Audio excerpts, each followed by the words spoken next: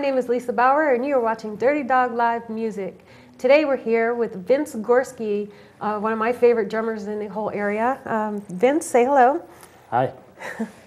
um, the first time I ever saw you was playing at the Fairway 12, I think, and I, I'm not sure if you were doing a benefit that night or, or what it was, but the first time I saw you, I was absolutely mesmerized by your talent, and that's very Thank rare you. for me. I'm, I'm not one to generally notice drummers right off the bat, but I just could not take my eyes off of you that night and, and your performance um, and the way you were playing. So I, I'm very pleased to have you here on this show.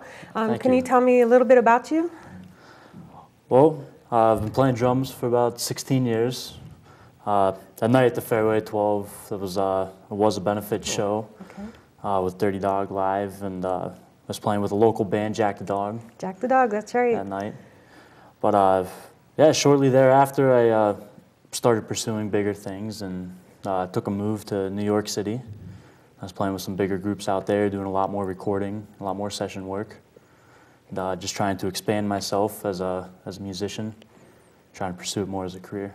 Your style of drumming is so much different from what I see from other people. Can you tell me a little bit about uh, how you learned to play the way you do and with, with such enthusiasm that you do? I mean, uh, you'll see later, but Vince twirls sticks and he, he can toss them and catch them and I, his, I can drop them. yeah, right. yeah, occasionally, but uh, but you're a, a performer as well as a drummer. So, um, who were your influences and how did you get started? And Well, I started out listening a lot to uh, uh, Chad Smith, drummer from Red Hot Chili Peppers. I was into him a lot. Uh, Godsmack, with, uh, Sully Erna and Shannon Larkin.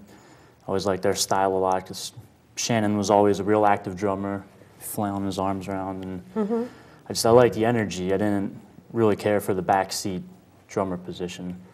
As a drummer, I I, never noticed wanted to be buried. uh, some of the YouTube videos and things that I've seen of you, uh, boy, your eyes just go right to you. So, well, thank you. um, can you tell me a little bit about uh, as a child? You know, when did you uh, begin drumming? Did you just start banging on things around the house, or did you ask your parents for a good set of guitar or drums, or how did that work? Well, in, I was in fourth grade in a little elementary school. And, uh, I came from a small town, Findley Lake. And uh, in fourth grade, our, we had a music teacher come into our classroom and he gave us a demonstration of uh, several different instruments. And I was intrigued by the trumpet at first. Oh, I love I loved the trumpet, trumpet. All my friends were playing trumpet, and I wanted to play trumpet, but I took the uh, took my permission slip home, wanted to get it signed, get a trumpet rental, and my parents didn't want to pay for it. My Oh. dad, my dad was a drummer growing up, and he had a drum set already, so he says, "All right, you're gonna try this first. If you don't like it, then we'll consider trumpet." Do you play trumpet now, or no? I don't play trumpet. I did later on take well, up you're tuba. so you're so good but- on drums, you don't need to play the trumpet. But but uh, But yeah, I, I did dig out my dad's drum kit and I started uh, started diddling with it, and uh, it just it grew on me. And I think part of the reason also was I was the only kid who was doing drums Mm-hmm. in the school, and coming from a small town, it was an easy way to kind of stand out and do my own thing. Mm. And uh, I just kind of progressed from there. do you remember your first gigs when you actually went out and started getting paid to, to play with bands? And Uh, my first gigs, I wasn't getting paid. first gigs, we were playing for food and yeah, Uh, but yeah, I started when I was uh, 14 years old. We started playing parties and uh, doing little shigdings for uh, family and friends and graduation parties, stuff for high schools. And uh, pretty much just a party band. But then I wanted to venture out and coming from Findley Lake, just a small town, uh, started looking up flyers and seeing wanted ads. Everyone was looking for drummers. And so I got a hold of some guys from Erie and uh, I played with a group while I was still in high school. I just turned 16, just got my driver's license. I started playing with a group called Meat Plow, who, uh, a little wild name, but, yeah, it is. but yeah, that was my first taste of the Erie scene. And I got to go around and play a lot of good shows with those guys. And do you have a particular genre of music that you you like to play? I've always been partial to hard rock. Hmm. I think I read one time that you really liked Motown too. I do. I'm, I'm big into Motown. Mm-hmm. Not, not for the drumming influence, but I just, The the music I itself. love the music. Um, I really like Michael Jackson and mm-hmm. the Temptations. Yeah, yeah, stuff I listen to, stuff I grew up listening to. Nice. Yeah, yeah, I love Motown, the whole Motown thing. I think a lot of that was also the performances that they put on. Mm-hmm. I mean, you know, watching David Ruffin with the Temptations was, Mm-hmm. you know, it was always great performances, and Michael Jackson, you know, alone at the top, Mm-hmm. he was very inspiring to me as a performer. So um, the last I heard, you were playing with a band called Bulletproof, Bulletproof Messenger. I know it's hard I- for me to say, but Bulletproof Messenger. I was playing with Bulletproof Messenger. I kind of played out my term with them, but uh, like I said earlier, I went to New York City, and uh, you know, knocking on doors, and I found these guys, and uh, uh, they just they had a lot of great opportunities coming up, and I went ahead. I went through two auditions. One was just with a couple members at first in a tiny little studio apartment, and later on they took me down to their studio in Long Island, and uh, we had a full blown rehearsal, uh, big stage production, and it was just great. And I was And, and really getting pumped. what, what was the largest audience you think you, you saw while you were with them? Um, it's hard to say. I don't know how many we had, but it was anywhere from six to ten thousand. I'd say would be the largest. That's pretty exciting.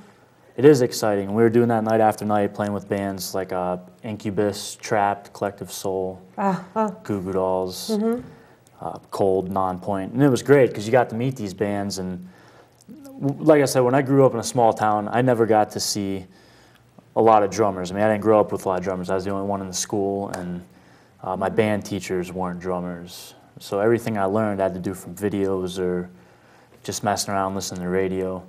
So it was great that I actually got you know one-on-one time with a lot of these you know big names, people who've been out there and been doing it, and I did get to learn a lot from that. Yeah, that's one of the reasons why we're doing uh, Dirty Dog Live Music is to uh, give some of the local talent some exposure and stuff like that, so that uh, um, there's so much talent in our area and people don't always get to see that. So, you know, I'm really glad today we're going to have a drum solo by you, and I'm really excited to see that because it's been a while since I've heard you play. And It has been a uh, little while. Yes, and um, um, I'm curious to see when I think somebody's really, really good, and then to see that they've actually gotten better. You know, that's going to be fun for me to watch. So um, we're going to take off and go watch you play a song. Great, let's do it. Okay.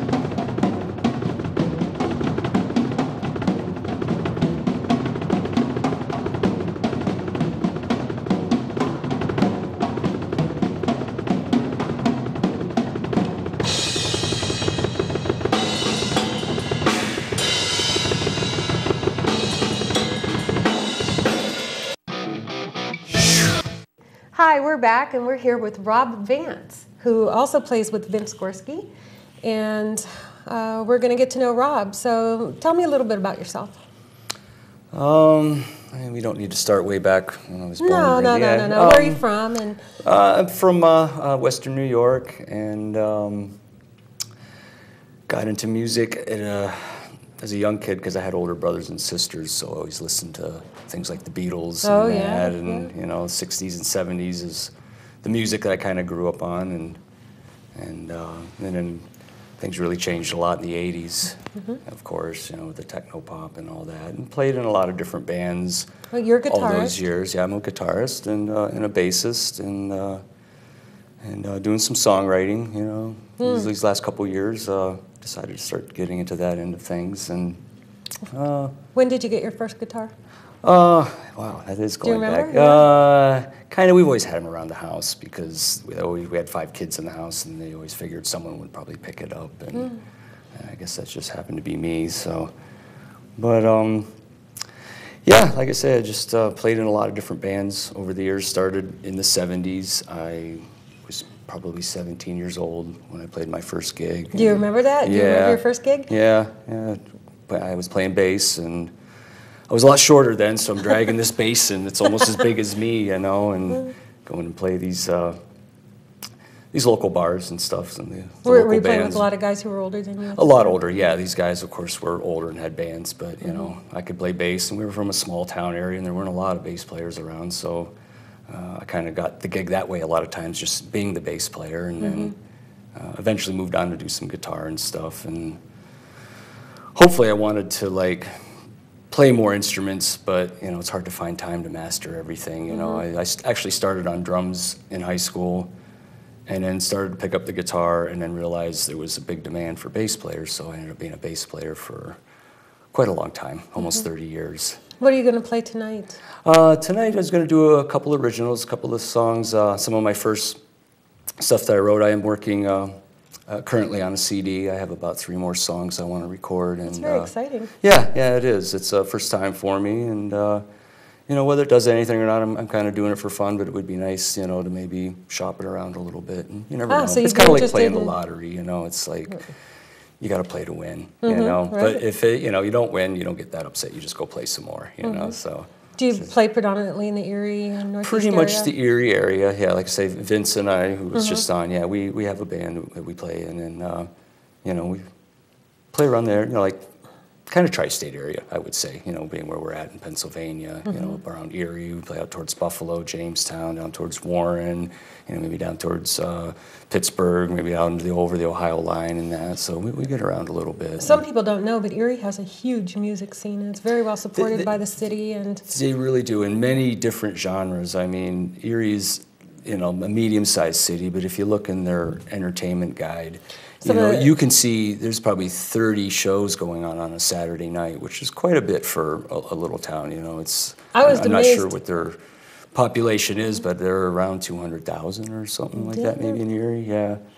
yeah. But uh, This is very exciting. I'm, I'm very anxious to hear you play. Um, can you tell me a little bit about the song writing for you? How does that occur for you? Um, I don't know. I just kind of like to write about, you know, good times and, you know, try to pick out some of the better aspects in life, you know, try to stay away from the gloom and doom and, you know, like to live a little, you know, party a little. And You're doing sort of country rock. country kind of rock, yeah, those are kind of my influences. Um, uh, my first gigs that I was playing bass when I said back when I was just a teenager were country gigs. I was weaned on country music and and then of course grew up with the, you know the Lynyrd Skynyrd and the Southern So, rock and yes. you know the I'm a big Skynyrd fan. yeah, Mm-hmm. yeah. So that was, uh, you know, everybody that we were growing up with and hanging out with, and my musician friends. You know, they're with me tonight. We all kind of grew up together and played together for a lot of years. And Do you want to talk about who's with you tonight? Who, um, who did you bring? yeah, I brought um, Vince, of course. Vince, of course. Yeah, Vince Gorski. Of course, he's younger than the rest of us, but he's Mm-hmm. a great upcoming drummer. I mean, he's it's really a, a- good time to be on a stage with him. He, Yes. he puts on a good show. He does. You know, and, and is uh, all on his own and does an amazing drum solo, which you know you all got to see there and everything. Mm-hmm. Yes. But uh, yeah, and then we have uh, my friend Ken Walters, who is uh, probably one of the guys who got me interested in playing guitar. He was a few years older than me. He would be uh, playing the banjo tonight, and uh, let's see. We had Tony Flaminio. Um, we've been in a band together for almost 20 years, probably. Uh, Harry Hool, another guy that I grew up with, um, all from the Western New York area, and uh, that's Well, pretty that sounds much it. with fantastic. We're really yeah. anxious to hear. Yeah. Okay, Yeah, It's small town stuff, that's for sure. So, Great. Yeah. Okay, thank you. Thank you.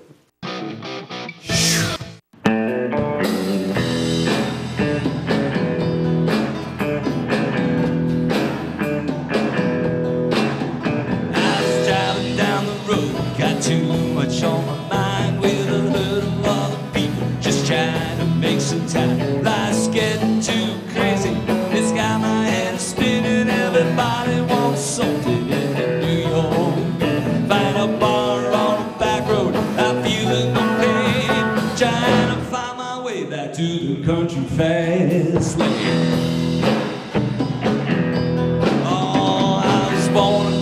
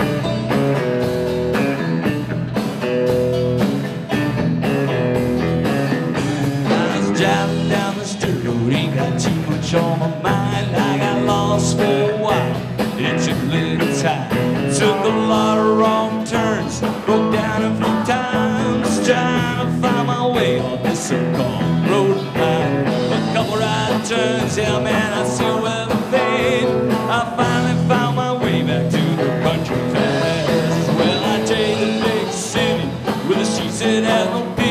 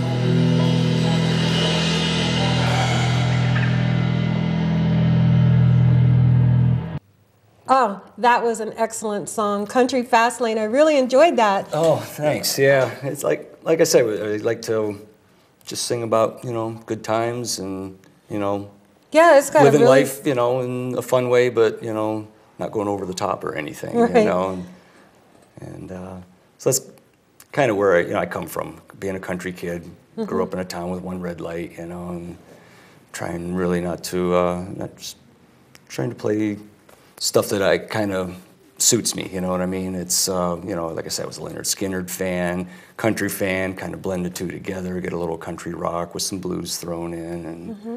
you know, those are kind of my inspirations. They're not too, uh, you know, technical or anything, but If people are interested in finding you, how would they find you? uh, I have a, a website. It's uh, robertvance.com.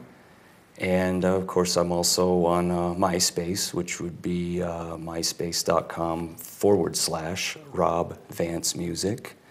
And then, um, of course, I'm on Facebook too. Everybody's on Facebook everybody's on these days. Facebook, That's a good pl- way to. Uh, I like to just like advertise my shows where we're playing and that, and let people know where we're at. And it's Mm-hmm. Yeah, it's, like a, it's a nice tool. Those, you know, the, the age of the internet now is definitely helping the musician stretch out, you know, That's to right, new and- areas a little more, and, and It's you know, important so to utilize all the tools it- that are it's a good thing, yeah, and uh, so.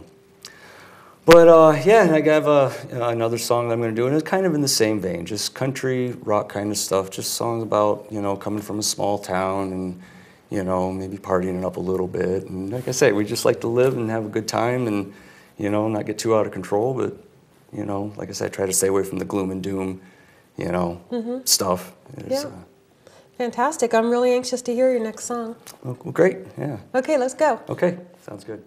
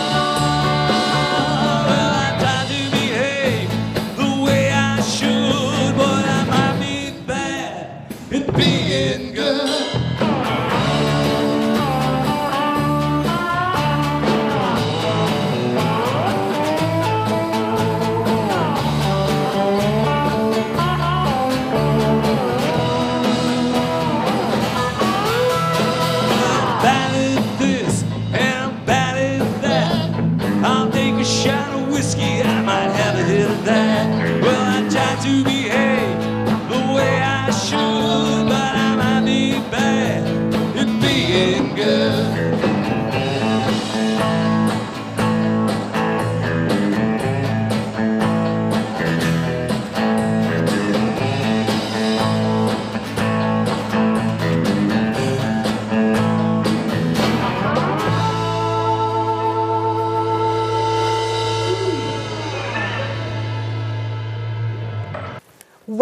Okay, now that was a really good song. I really enjoyed that song. That song has got such a beat, and I can just hear that playing on the radio. Oh, nice. So yeah, good luck with I that hope other song. people I- think that, but yeah, I'm, glad sure you they enjoyed. will. Yeah, you know, it's, that's it's that's a fun one. that's part of this whole experience is to bring music that people have not heard and some of the talent in our area to them so that they can hear what's going on out there. That song is hot, and I think people should hear that. So Nice. Well, the great. name I, that I, I hope that was uh, might be bad. might be bad, and you'll have to look for that definitely. I want to thank you for being here today, and I want to thank Vince as well, um, Vince Gorski, um, for being here and doing that wonderful solo he did, and for you sharing your two songs with us. Um. Yeah, I'm and sure I do have more songs on my website, on MySpace. If you went to the MySpace site, there is more songs on there that I've done, stuff I'm currently working on. And, And you're getting ready to put yeah, together the and, album. uh, so. yeah, the CD should be coming out hopefully first part of next year. Do you have a name for it yet? I don't yet. I'm working on some stuff. Yeah, we still got to get all the you know the usual stuff together, the artwork and everything. But uh, we're we're getting close. I have seven songs completed, and I need to get many like do you three more. put? I'm going to put ten, on 10? a CD. Yeah, that's a good round number, I think. And Okay. Well, we'll be looking for it. We'll be looking for your name and and uh, keep in touch. I will. Rob Vance, Yes. thank you very much. Thank you.